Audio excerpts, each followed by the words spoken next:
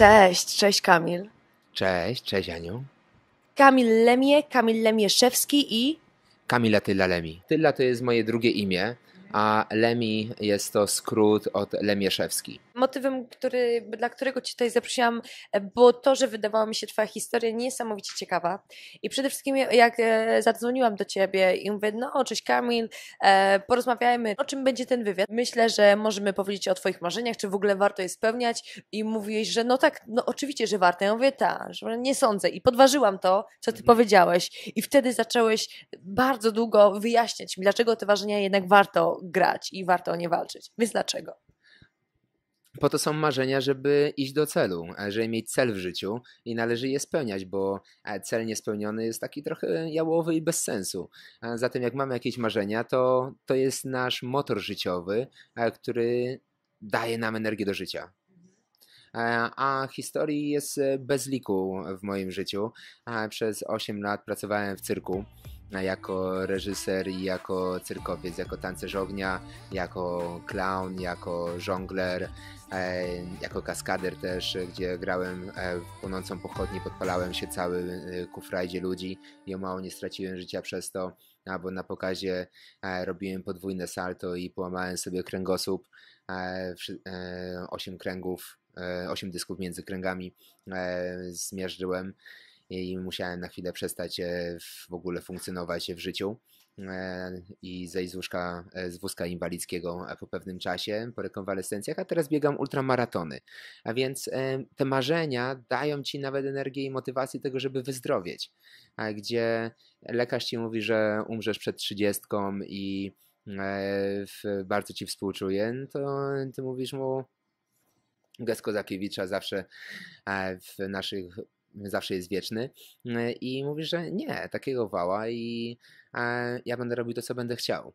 E, zatem nawet jak umarłem po pokazie Fire Show, dostałem chemicznego zapalenia płuc i moje płuca zamieniły się w jedną wielką fabrykę ropy e, i się zalewałem e, własnymi płynami od środka, nie mogłem oddychać, leżałem trzy miesiące na umieralni w, w szpitalu w Łokiewnikach w Łodzi e, pod tlenem i kroplówkami, gdzie ludzie umierali obok mnie w pokoju codziennie.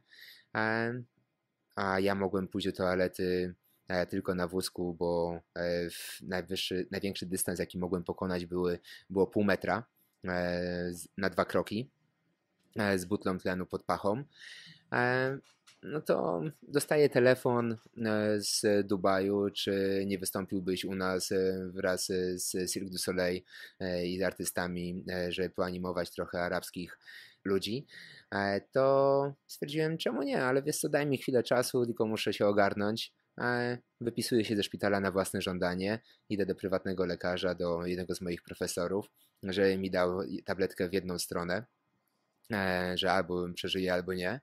E, I zaczynam się naprawiać. Organizuję ekipę, e, trupę cyrkową, 40 najlepszych akrobatów, żonglerów i razem lecimy samolotem do Dubaju występować z Cirque du Soleil, Saltimbanco Italiano dla arabskiego księcia i jego rodziny. Zatem marzenia są po to, żeby je spełniać, realizować i dają ci tą energię do, do życia. A historii, a na przykład takich jak na planie z e, Danielem Craigiem, z Jamesem Bondem e, w reklamie piwa w Chorwacji. E, ja jestem tym złym, który go ściga wraz z moim jednym i drugim druhem. Płyniemy super motorówkami, silnikami Lamborghini i on ucieka przed nami. Na e, wodzie jest 25 jednostek e, wodnych plus helikopter, e, który też porusza wodą i słyszymy akcja i musimy płynąć za tamtą łodzią, która robi wielką falę i nas znosi i prawie uderzamy, bo jesteśmy pół metra od łodzi z produkcją i klientami oraz z kamerą.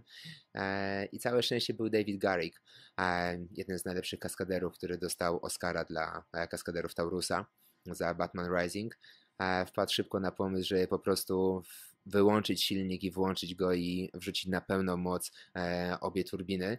E, I w tym momencie wystrzeliliśmy jak z procy e, przez tą taflę wody, falę wody, łódź z, z kaskaderem, który grał Daniela Krega przeskoczyliśmy przez nich, wylądowaliśmy z powrotem w wodzie, ominęliśmy kraksy i uratowaliśmy sobie i innym życie.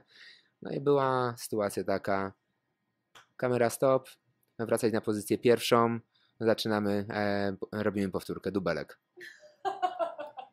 Gdzie stoisz na granicy życia i śmierci i nie ma czasu na to, żeby adrenalina ci uderzyła do głowy i e, żeby wpaść w panikę. E, jesteś profesjonalistą albo nie czy inna historia e, też z tego samego planu, gdzie gonimy Daniela Krega zbiegając po e, stromych e, stopniach takiego antycznego miasteczka, gdzie na krawędziach są porozstawiane wiklinowe kosze przeplatane drutem w środku, że ładnie wyglądały na obrazku i my w trójkę biegniemy za Danielem w lakierkach bez przyczepności, e, schody polane wodą, żeby ładnie się świeciły i też ładnie wyglądały w obrazku. E, te wszystkie kosze wiklinowe spadają, a na końcu jest ekipa i reżyser z kamerą, jest murek takiej wysokości 1,20 m, a zaraz za nim jest 20 metrów w dół na skały i do wody a my zbiegamy, ja się poślizgnąłem, noga mi wpadła do kosza wiklinowego, zaklinowała się między druty i pocięła mi e, skórę, e, a ja muszę dalej zeskakiwać, nie mogę się zatrzymać, bo się sturlam, przelecę przez e, ten murek, no i przeskakuję 7 stopni w dół, odbijam się e, kilka centymetrów od kamery e, i muszę odbić się akurat z drugą stronę, żeby wpaść w korytarz, a nie e, tam na skały. I co? Kamera stop, wracać na pozycję pierwszą, dubelek. A ty? O, wyjmijcie tylko mi ten koszyk, ustawcie z powrotem, zatamujcie krew, lecimy. na przykład jak grałem Merlina, ok, w filmie jest to kilka sekund e, pokazane, bo nie pokazali, e, nie zostały użyte wszystkie e, ujęcia ze mną.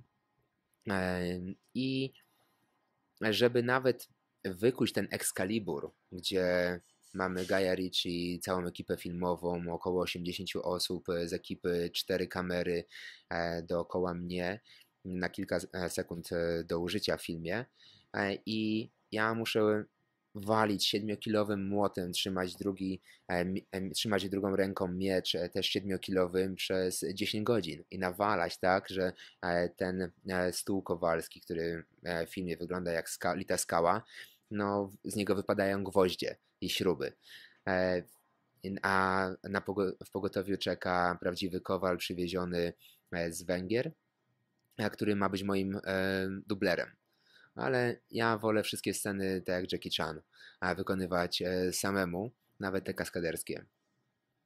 Tak, tak należy wykuwać swoje marzenia, ciężką pracą. Przeczytałam, że ty masz korzenie szlacheckie, to prawda?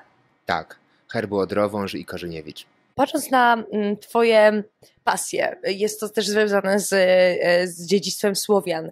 E, bierzesz czynny udział w promowaniu kultury polskiej kultury Słowian, prawda? Tak. Otóż kiedy moja babcia umarła, to chyba było, chyba było 12 lat temu, a w jej dokumentach znaleźliśmy z rodziną patent szlachecki na bawolej skórze podpisany przez Cerycę Katarzynę i wtedy zaczęła interesować się bardziej historią oraz e, naszym rodem i korzeniami, jako korzeniewicz. E, I odnalazłem, że długość naszego rodu jest minimum od VII wieku naszej ery. No ale nas uczono, że Polacy zaczęli istnieć na mapach historii e, od e, rzekomego chrztu, którego de facto nie było w 966.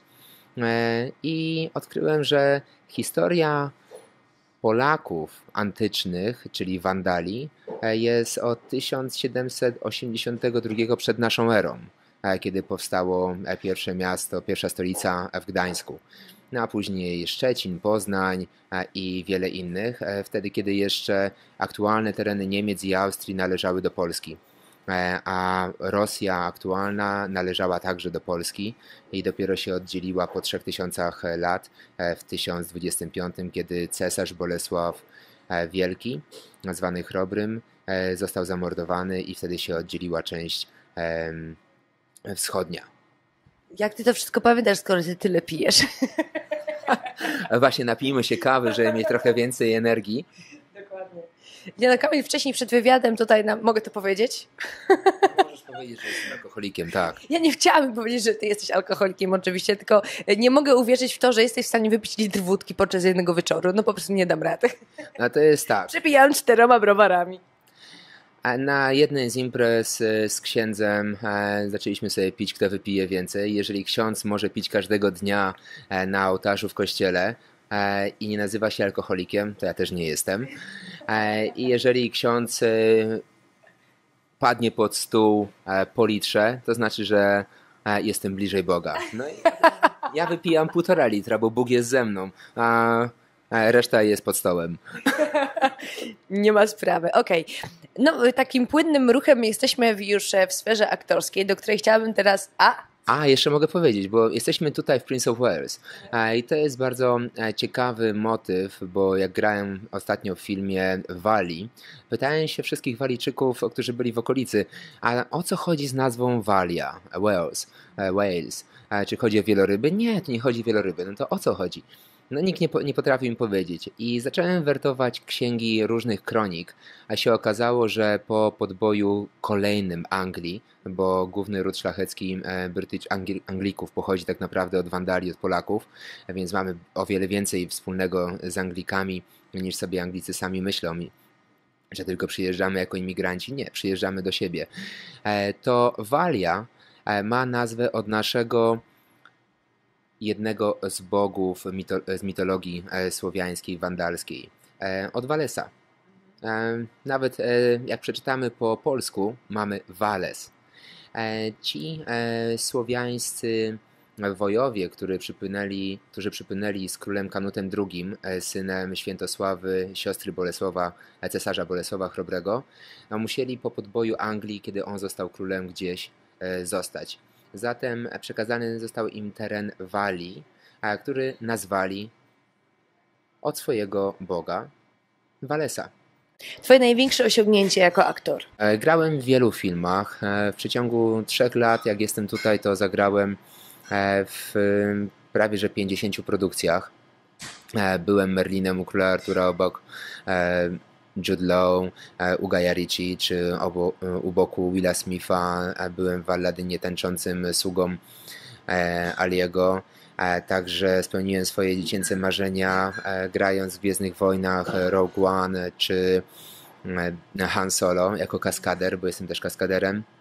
E, Czy w e, Transformerach piątce e, też byłem kaskaderem tam zagrałem, a w dzieciństwie bawiłem się tymi wszystkimi zabawkami, samochodzikami i oglądałem kreskówki, czy także rozmawiałem i pracowałem ze Stevenem Spielbergiem w Ready Player One. I tych filmów było jeszcze więcej. Tomorrow everything will be alright. And remember, the best medicine in life. Pour me Stefan, on the rocks, babe.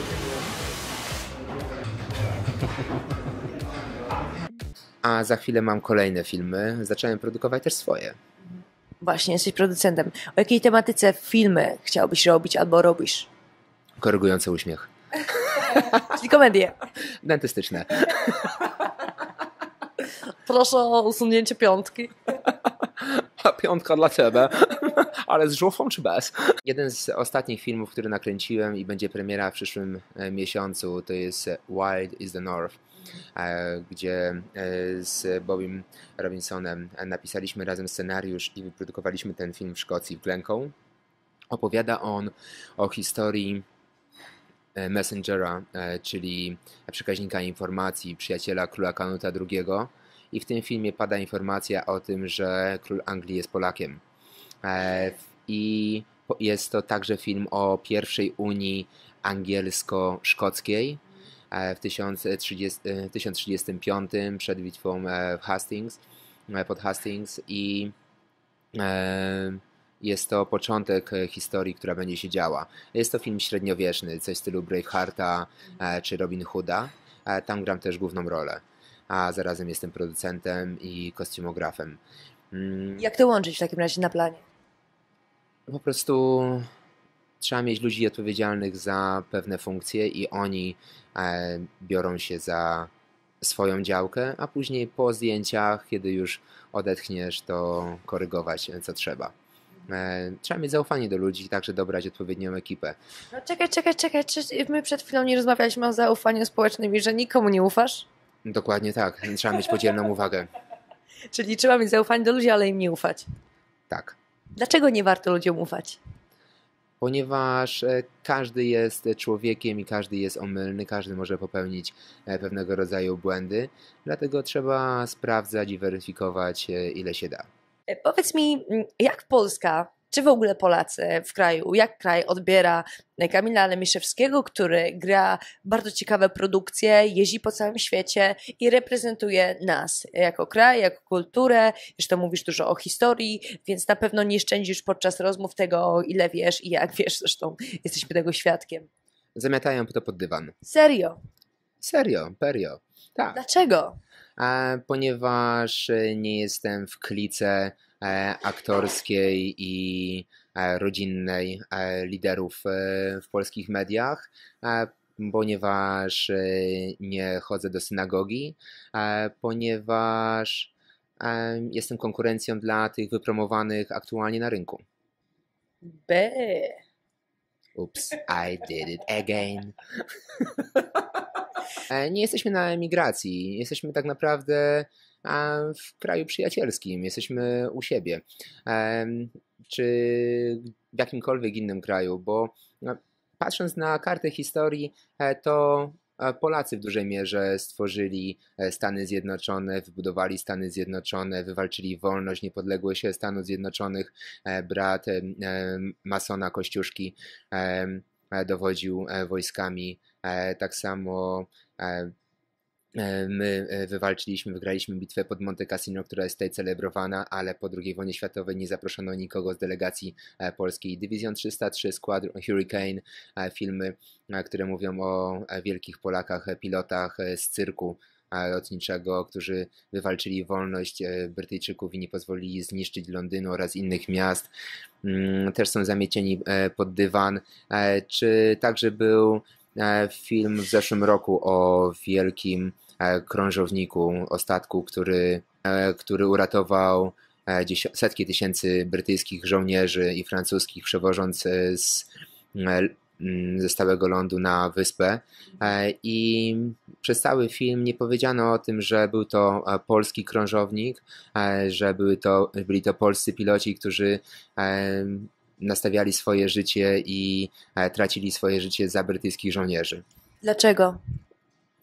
no Polacy są niewygodni. Chodzi o historię imperialną e, Polski, wandali, e, ponieważ e, tak naprawdę słowo wandal nie oznacza nic groźnego, teraz jest to pejoratywne, ale jest to, nasze, jest to nasza historyczna nazwa, e, która e, w Grecji będzie miała odpowiednik gnoza, czyli wiedza, czyli lu ludzie e, wiedzący, nauczeni to my obaliliśmy Imperium Rzymskie. E, nasz król Attila był e, faraonem Egiptu, był królem królów e, z całej Skandynawii, Francji, Włoch, Hiszpanii, Portugalii. Do tej pory Portugalczycy bazują na naszej gramatyce w swoim języku i mają wiele słów w swoim języku z języka polskiego. Zatem Dlatego jesteśmy niewygodni. Sam Churchill powiedział, że e, po II wojnie światowej należy oddać Polaków e, pod komunistyczny but, e, żeby Polacy zapomnieli o swojej imperialnej historii. No jak widać, są tacy, którzy nie zapominają. Nie zapomnisz nigdy, nie zapomnisz nigdy, nie. O nie. Czy masz tremę jeszcze przed występami? Oj, zawsze mam tremę. Ten, kto się nie boi, to znaczy, że e, no trochę przecenia siebie. A na przykład dzisiaj jak idziesz na taki wywiad, który jest e, wywiadem niezależnym zupełnie, czy jest jeszcze trema? No ale też nie wiadomo, co ja powiem, czy w ogóle ten wywiad... Jak to nie wiadomo? Nie wiadomo, czy nie palnę jakiejś bzdury, która później będzie w moją łatką i będzie ciągnęła się przez lata. Zatem no, jest dużo niepewności. Aha, a masz już jakąś łatkę? Wiesz często rozrywam spodnie na tyłku, więc tych łatek mam dużo.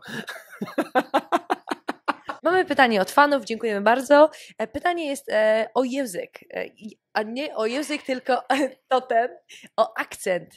Masz polski, ruski, niemiecki, włoski. Przedstaw się w trzech, je- w trzech językach. Zacznijmy od ruskiego. Э, Привет, э, меня зовут э, Камиль, я живу в Лондоне. Э, Да, Э, salut, euh, je m'appelle Camille Attila Lemy, euh, j'habite dans Londres, euh, je suis euh, comédien, euh, acteur, euh, mannequin. Um, hi, my name is uh, Camille Attila Lemy. I'm based in London and I'm living here a few years. Uh, so yeah, I'm, I'm an actor and a stuntman and uh, circus performer as well. Uh, sometimes fashion model. Uh, tak, jestem Kamil Attila Lemieszewski i jestem Lachem. Super. Jak z tym akcentem? Czy, no fu, cóż, akcentem zależy w którym języku mówisz, nie? Zależy na co położysz akcent.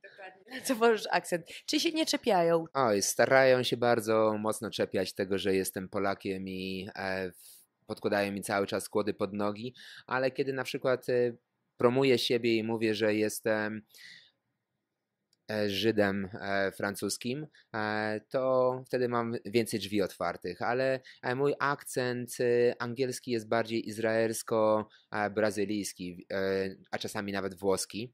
Mm, Sam nie wiem czemu, może dlatego, że przebywałem często z Włochami, ale tak, e, mój taki regularny akcent angielski to jest albo francusko-włoski, albo izraelsko-portugalsko-brazylijski.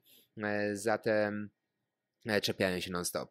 E, Z racji tego, że przedstawiam się jako Polak, a to od razu mnie szufladkują na hydraulika, mechanika, sprzątacza albo na, albo na bandziora. Ale kiedy się przedstawiam jako Izraelczyk, to momentalnie dostaję propozycję na główne role. Jak ty się z tym czujesz? Ja się zawsze przyznaję, że jestem Lachem, że jestem Polakiem, Wandalem, em, ponieważ e, wszyscy Semici to Słowianie, e, pochodzą od Semijana, nawet jest to zapisane e, w Starym Testamencie, w książce zwana Biblia po grecku. I tam jest napisane, że wszyscy Słowianie pochodzą od Goga i Magoga, od Jafeta, Semijana. A więc każdy Polak, każdy Słowianin jest Semitą. A wiadomo, że Semici to Żydzi. A zresztą religia katolicka jest e, judeo-chrześcijańska, więc jest odłamem judaizmu. No, A wszyscy, którzy wyznają katolicyzm, są Żydami. Zatem nie ma, ni- nie ma się e, czym ukrywać. Fajnie, jestem z ciebie bardzo dumna. Dziękuję. A ja dziękuję również. Cześć. Cześć. I tym pytaniem sobie pozamiatałem.